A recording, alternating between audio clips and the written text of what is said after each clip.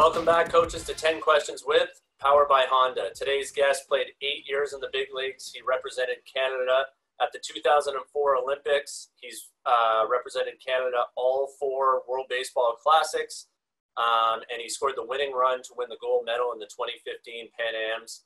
Um, our guest today, he's now a Brewers scout, uh, scouting Canada. We're very excited to have Pete Orr with us. Thanks for being here, Pete. Uh, pleasure to be here. All right, first question comes from Dave. What is your philosophy on hitters with a two strike approach? Do you prefer to choke up and try to put the ball in play, or would you rather see solid contact?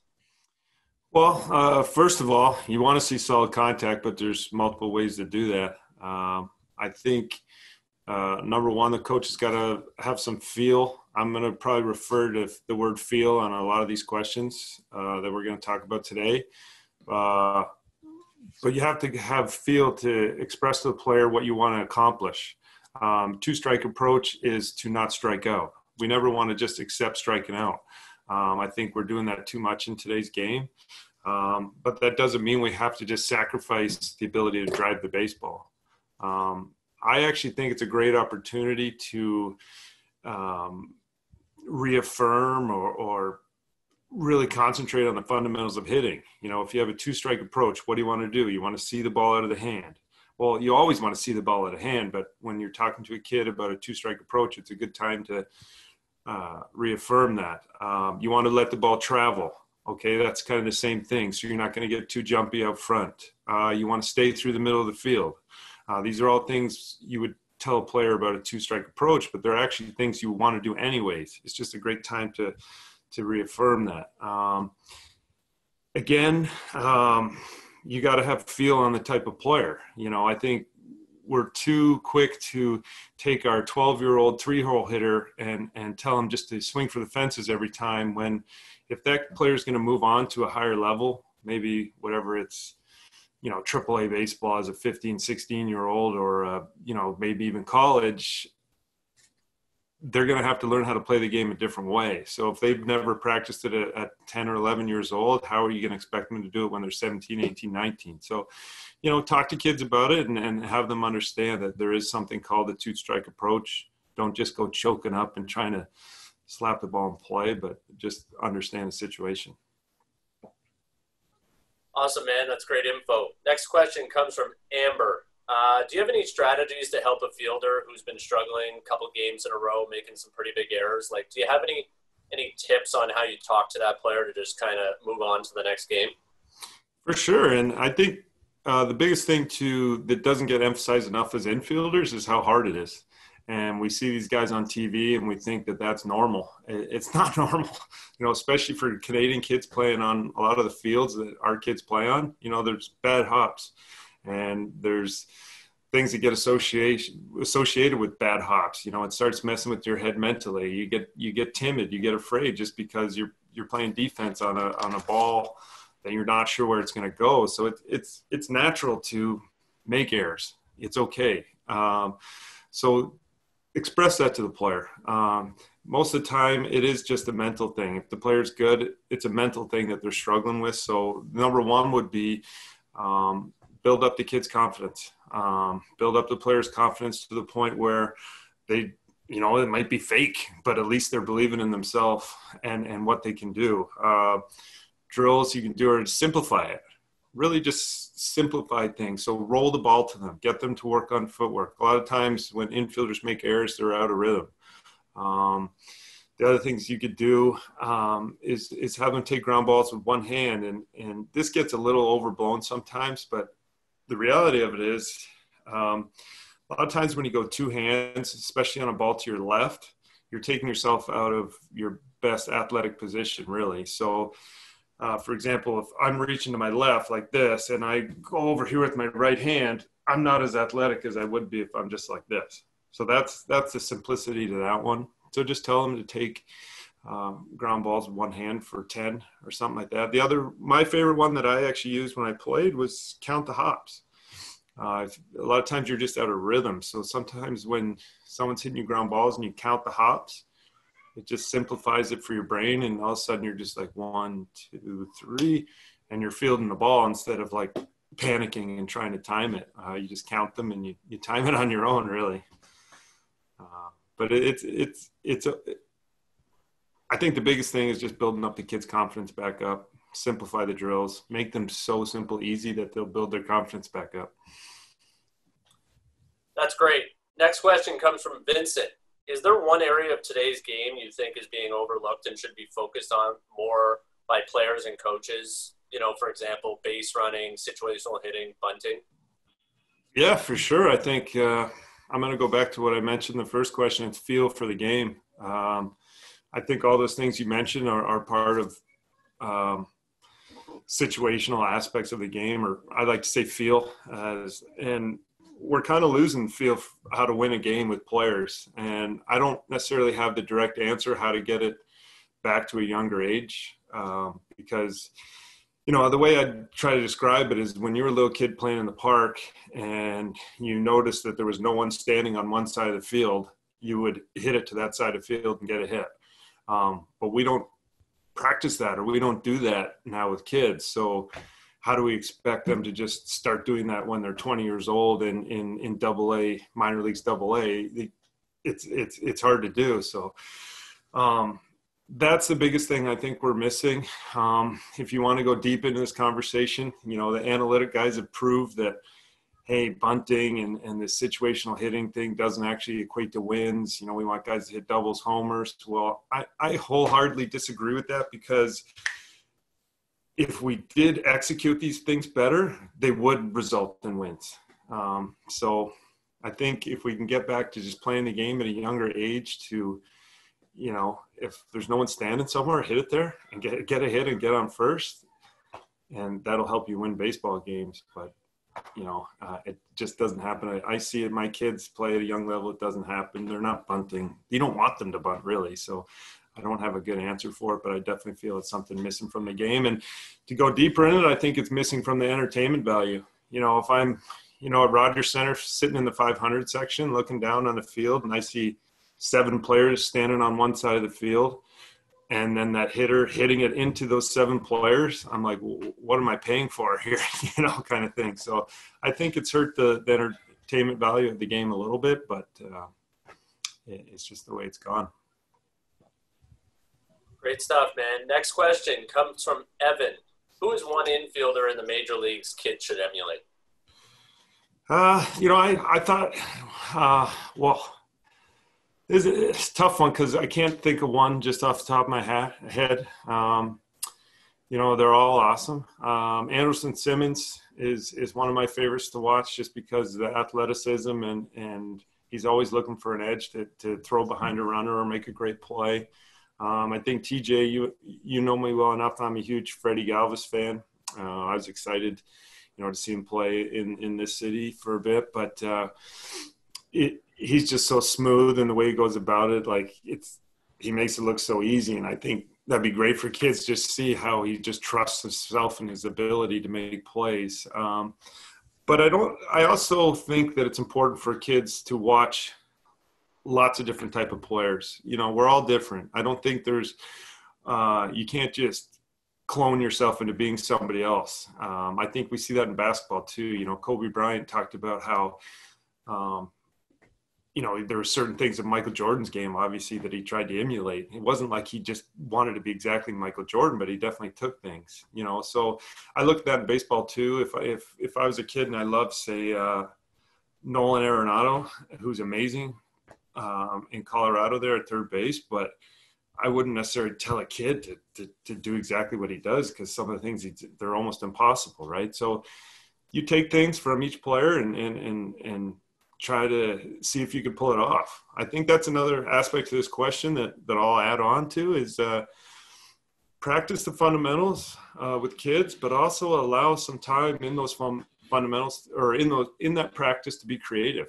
You know, give them a cup, you know, five or six at the end of your ground ball round to try things. You know, make plays on the run, do the crazy Derek Jeter backhand play. You know, try that because how are they going to know if they can do it unless they actually try? That's awesome. Yeah, I think coaches we we focus so much on just making the routine play, but you got to be able to make the hard play too. So to focus on that practice, I think is a good Good advice. Next question comes from Graham. Throughout your career, was there a drill like in the off season that you did that, that really helped from a fielding aspect? Yeah, uh, definitely. Um, for me personally, it was uh, footwork, keeping your feet quick. Um, that's not something that comes natural to everybody. Um, you know, ladder drills were a good drill for me that I could just do on my own. I didn't have to be on a baseball field to do it. Um, I also think challenging yourself and trying new things keeps your athleticism up, especially in your lower half. So, you know, there's some off seasons I played pickup basketball. Um, you know, obviously I controlled my environment that I was doing in, made sure it was safe. safe. Uh, but I felt playing basketball actually helped me as an infielder. Um, you know, uh, stuff like that. There's little things you can do. You know, get a racket ball, a real light ball, bounce it on the wall. You can just work on your hand, like just being soft without thinking about it. You know, no stress drills where you're just making things become natural for yourself. Um, the simple one, the most simple one would be throwing a ball um, and finding the four seams. You know, I think kids, you know, forget that that has to be a natural thing and it takes a while. So you're just sitting on a couch and, and you throw a ball up and turn it, and all of a sudden you got four seams on a baseball. Um, that's a that's a good one. I also think a, a, major one for kids as you get older and to a higher level is keeping the flexibility uh, up in your hips and ankles. I think you know for me personally that was as I aged, that was the most difficult thing. You know, every spring training I'd show up and be like, oh man, like my lower half isn't moving like it did in the last game of the, the season before. So uh, just try to keep, you know, that flexibility up and, and, and challenge yourself to stay as athletic as possible. Awesome, man. Next question comes from Brandon. At what age would you recommend players start working out weights? And do you see, uh, does that always translate into more power, better arm strength? No, uh, definitely. There's no guarantee it's going to translate. I think it can help, um, but you got to use field to do it at the right time and, and educate yourself to do the right thing for the your specific body. Uh, everyone's different of, of when their bodies can handle a certain level of uh, lifting. Um, you got to be very smart with it. Um, I'm not a professional there, so I can't tell you when is the right time. Uh, but you definitely have to use field to do it. I don't. I think a lot of people confuse it with you know bench press and heavy squats. You know, there's a lot of other things that the young athletes can do to improve their strength. Um, but again, it's got to be done with feel. And I think the biggest thing is to realize it's you're not going to create a major league player by doing off-field weightlifting or training. It's just something that can can help a good player become better. Um, and and not confuse that. You know, you're not going to hit home runs just because you are able to lift this amount of weight. It's just something that might be able to help you.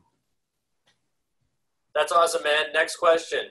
What do you think is the best way for a player to be seen? Should they focus on just playing for the team they're on, or should they attend showcase events, post videos online? Uh, what, what's your thought process on this as a scout?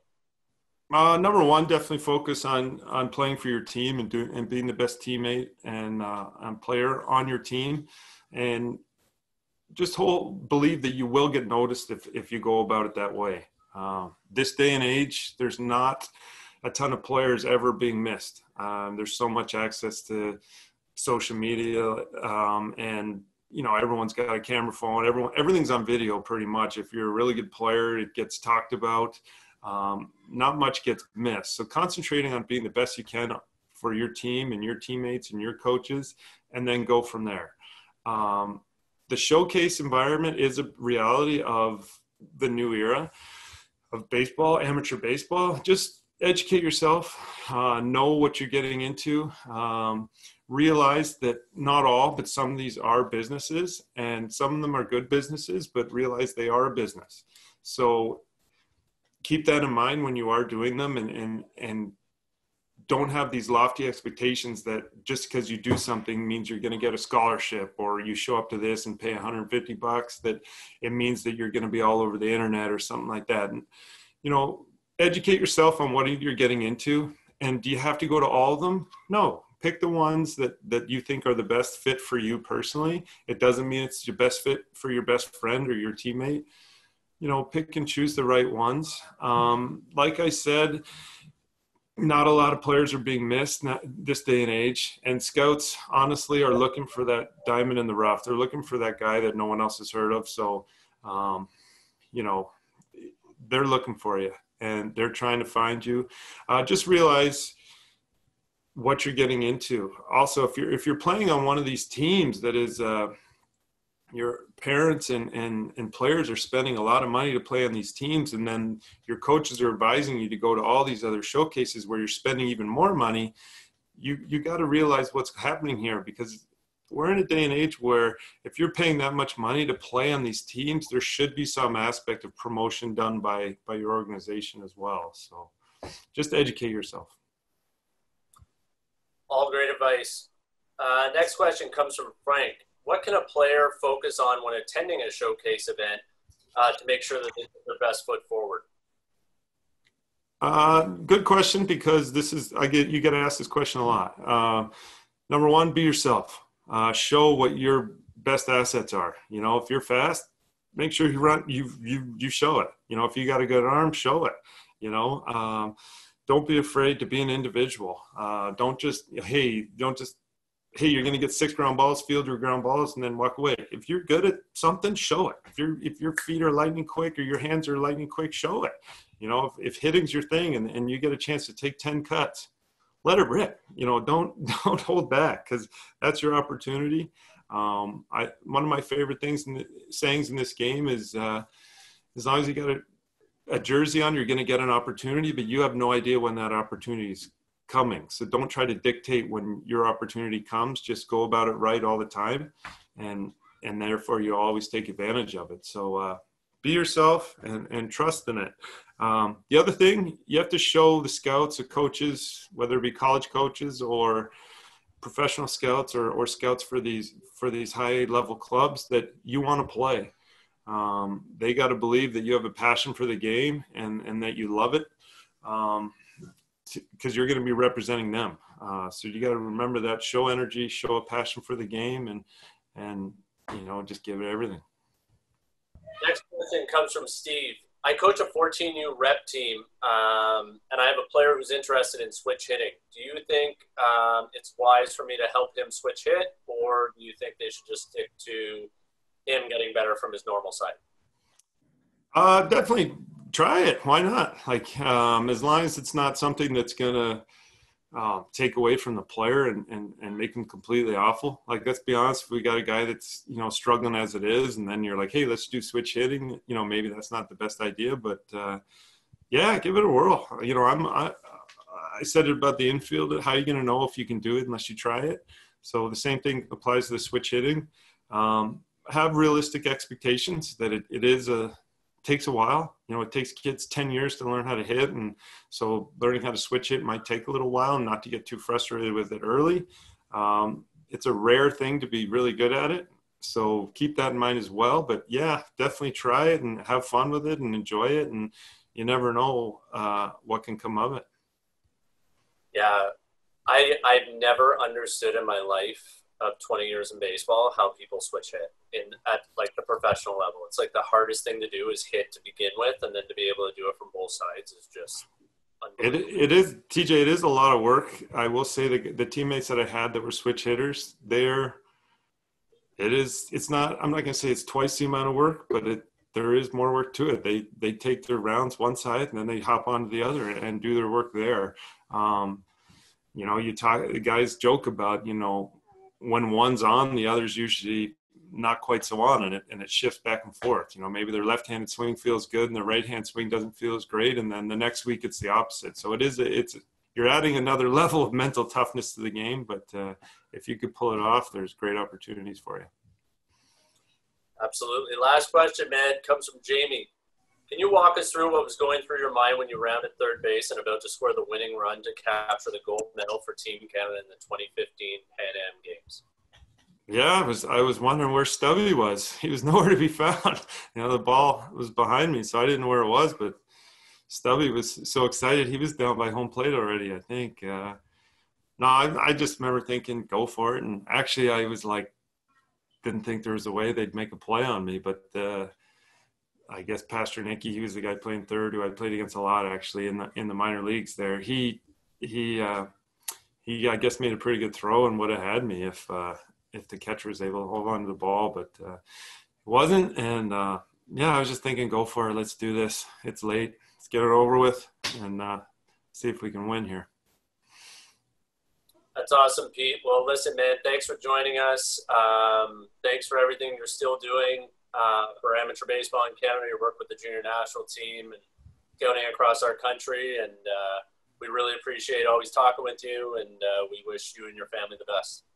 All right. Thanks, TJ. And I appreciate uh, having me on here. It's good.